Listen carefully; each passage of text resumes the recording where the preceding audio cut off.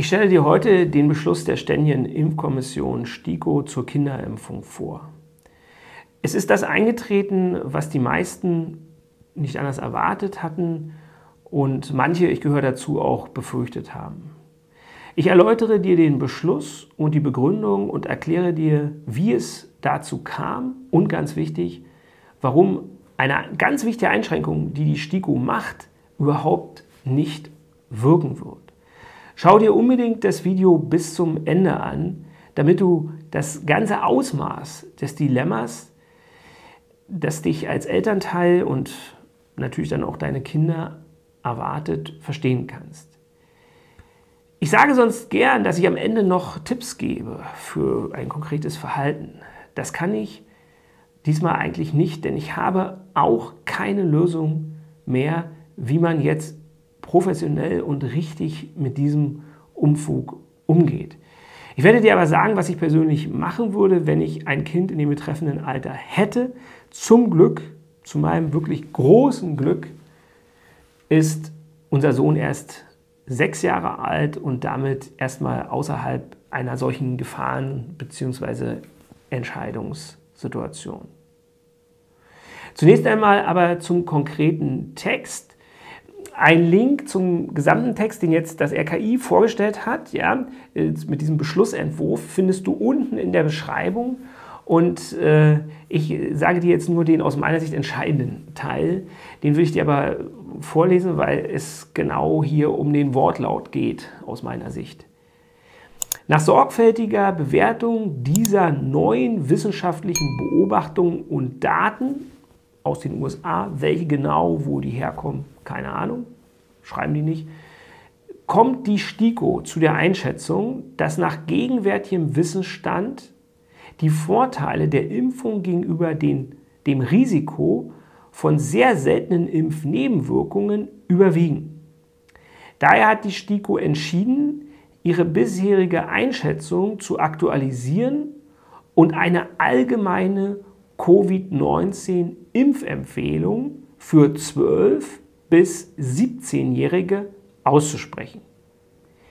Diese Empfehlung zielt in erster Linie auf den direkten Schutz der geimpften Kinder und Jugendlichen vor Covid-19 und den damit assoziierten psychosozialen Folgeerscheinungen ab.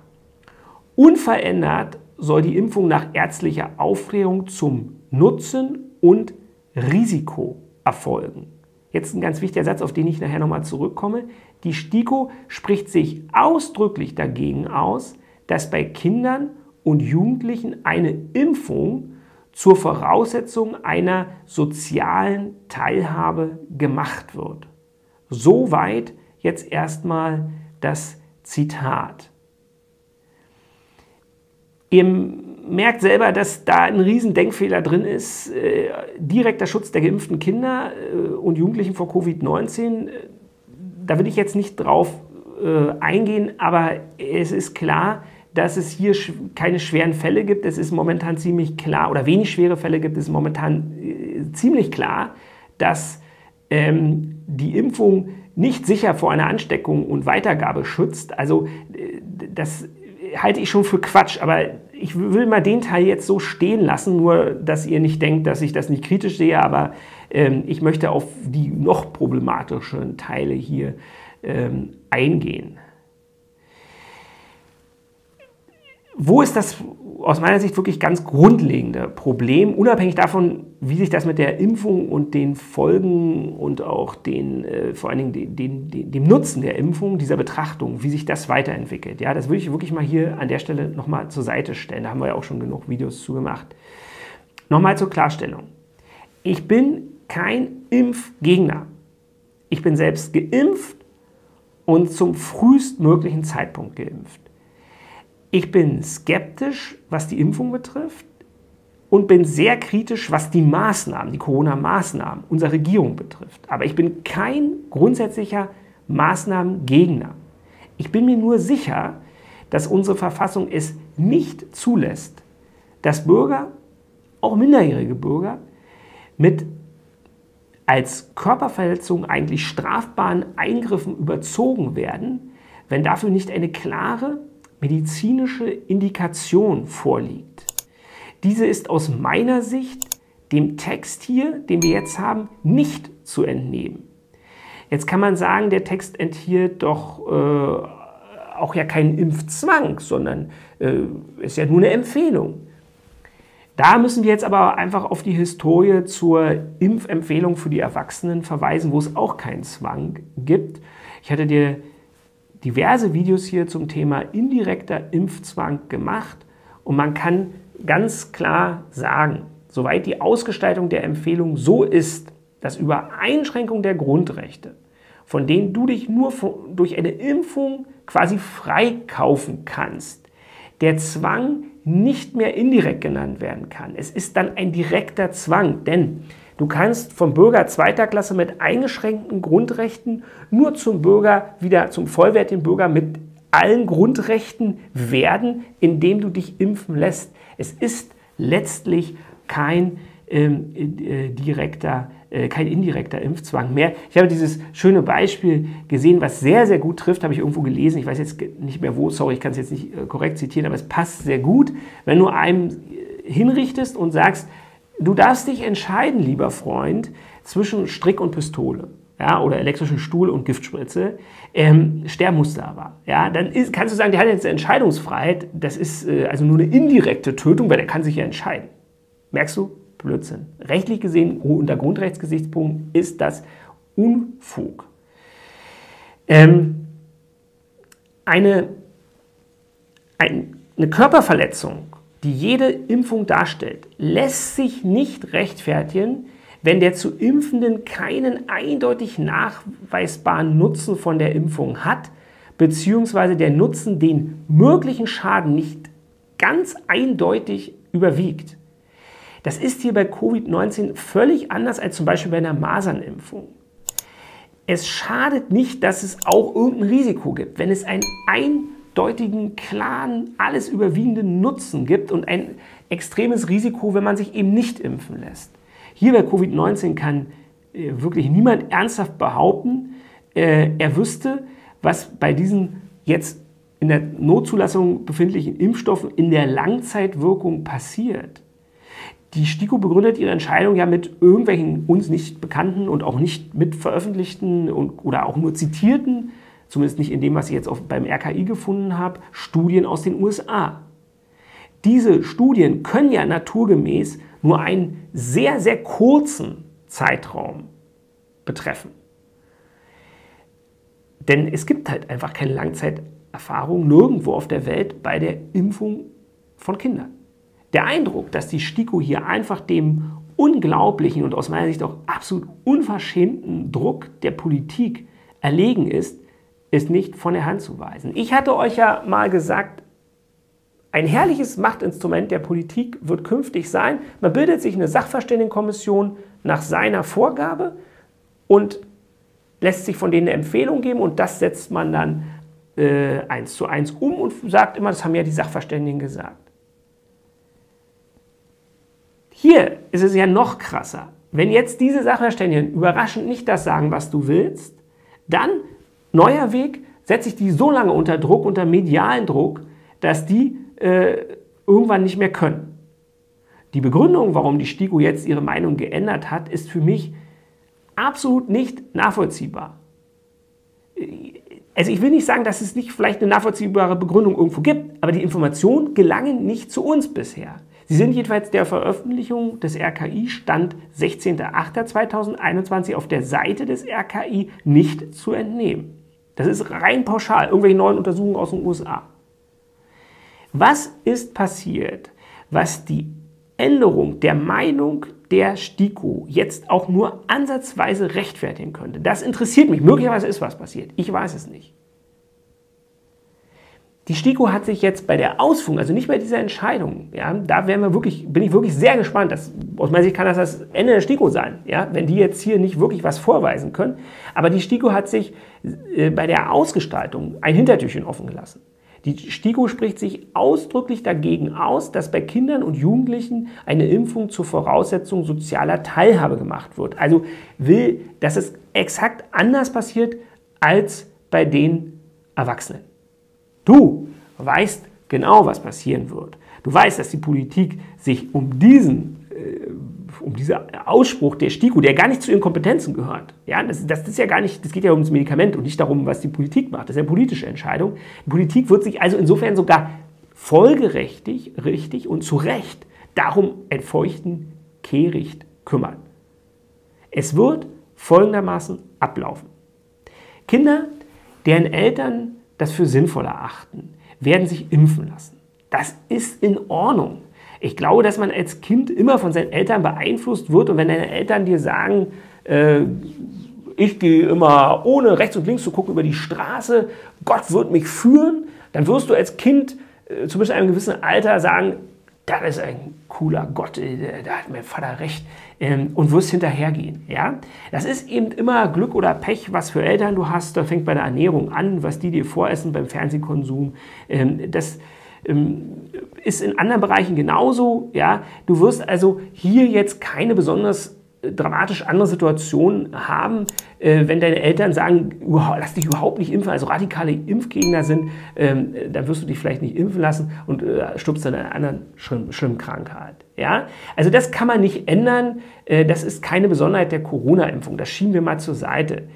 Diese Kinder, die sich jetzt impfen lassen, werden erstmal vermutlich keine Probleme haben. Es gibt äh, in der, durch die direkte Impfung jetzt keine dramatisch höheren äh, schlimmen Verläufe als jetzt, wenn man, äh, es gibt ja auch bei Kindern ein paar schwere Verläufe bei einer Corona-Infektion. Ja, und das, soweit ich das beurteilen kann, überhaupt im Moment, ähm, hebt sich das etwa auf, das Risiko und der Nutzen, äh, was die aktuelle Situation betrifft.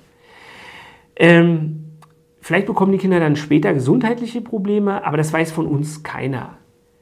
Wenn am Ende, so hat das ja äh, Drosten mal gesagt, äh, am Ende des Tages ist jeder entweder geimpft oder hat Corona bekommen.